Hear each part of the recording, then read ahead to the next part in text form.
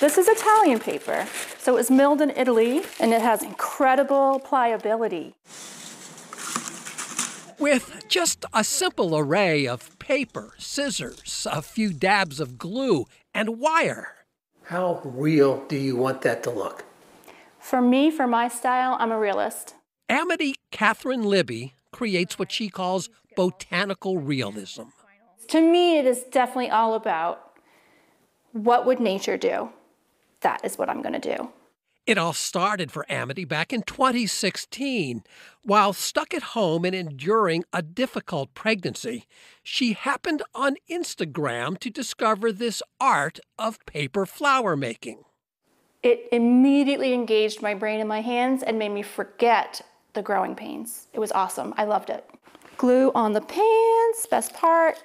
Five years later, thanks to Amity's enthusiasm, and now her company, Flower and Jane, so many others are loving it as well. This once part time hobby has blossomed into both a successful business, showing and selling her work, along with hosting online workshops, teaching classes.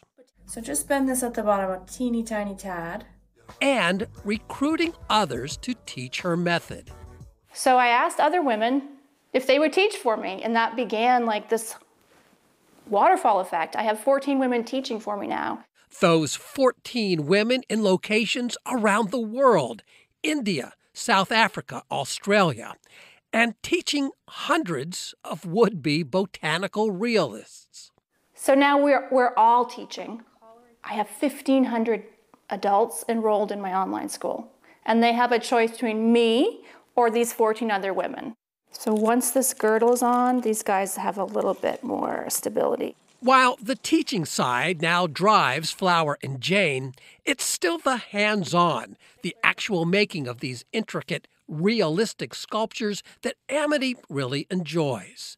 Especially when she knows it's just paper, but somebody needs that second look just to make sure it's not real. If that's the response that is evoked when you see the flower, then my job is, is done. I've done a good job, yes.